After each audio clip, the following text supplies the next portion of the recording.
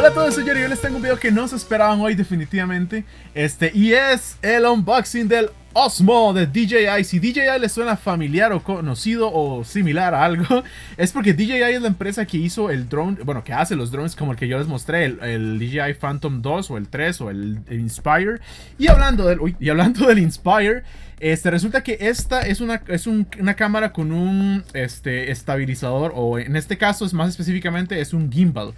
Lo que hace básicamente es que la cámara va a mantenerse estar hecho. No les voy a decir, vamos a, voy a mostrarles. Esto no es un review, esto es un unboxing y solo un unboxing, pero quiero que ustedes lo vean para que ustedes entiendan este un poco más de qué es. Así que bueno, aquí tenemos la cámara 2. Vamos a. Ya le quité aquí el, la, sticker esta, la etiqueta.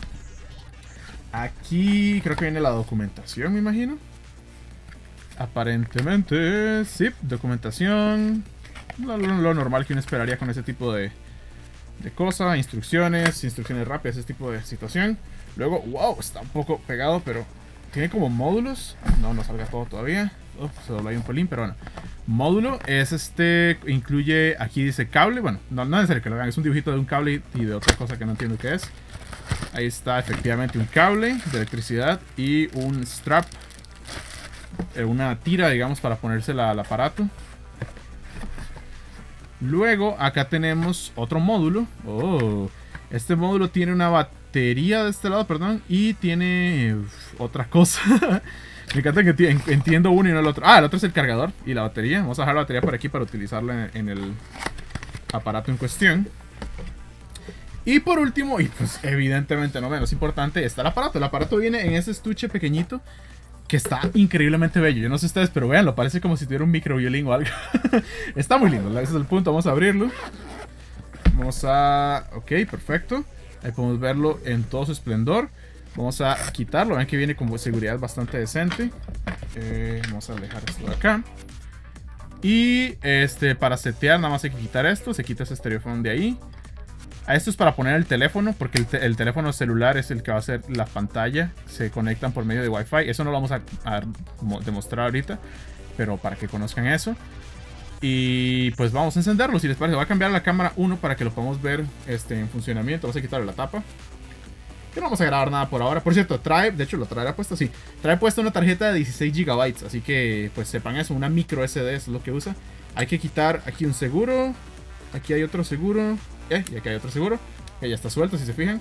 Ahora nada más lo enciendo de este lado.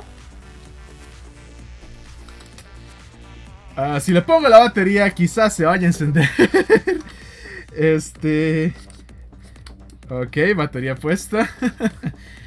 Ahora sí. Oh. Y, revivió. Eh, bueno, este, salió a la vida.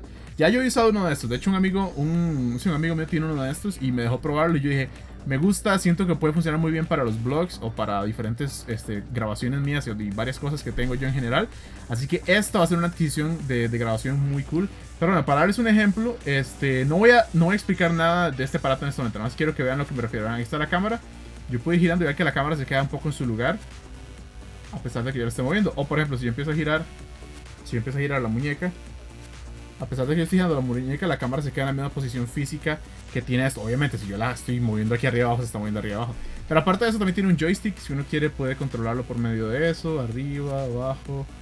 Y si yo lo doy tres veces... ¡Modo selfie! ¿What? Pero bueno, eso es todo por este video. No, no quiero alargarlo más porque la idea no es que este, este no es el review ni nada por el estilo. Quiero que me pongan abajo todas las preguntas que tengan sobre este aparato, el Osmo, eh, el Osmo simplemente se llama. Así que bueno, este, pónganlo en los comentarios y les veo en el próximo video. Adiós.